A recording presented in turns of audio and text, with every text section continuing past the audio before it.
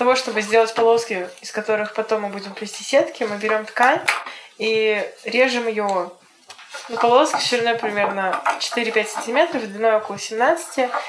И самое главное сделать прорезь примерно на 2 трети полоски, чтобы в конце была возможность вот так вот завернуть все вокруг сетки. Собираемся мы здесь почти каждый день, и мы хотим как-то помочь э, тем людям, которые сейчас там. Мы делаем плотное, навязывая на каждый узелок, хотя техники есть разные. Вот поближе сюда. Вот давайте вот таким вот пятнышком она будет. Это процесс плетения маскировочной сети. Вырезали тоже мы сами их.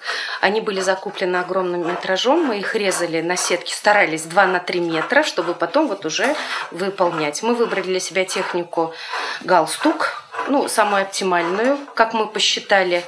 Откликнулись э, и образовательные организации, то есть брали у нас готовые сети, которые мы разрезали, оплетали, и вот тоже уже сейчас начинают нам приносить. Приходили нас взрослые люди тоже просто со стороны, с улицы, и говорили, давайте мы вам поможем разрезать, то есть поможем там ткань порезать и поплести. Ну, то есть, в принципе, в процесс очень большое количество людей вовлечено. На сегодняшний день у нас разрезанных сетей 100 штук, а сделано на сегодня э, где-то около 10 и три уже было отправлено, то есть в Нижний Новгород, ну, которые отправлять уже непосредственно в зону СВО. Дети включились в этот процесс, процесс того, что мы вместе стремимся к одной общей цели, к цели того, чтобы побыстрее вернулись те, кто сейчас находится там, просто приближение одного, одной общей победы.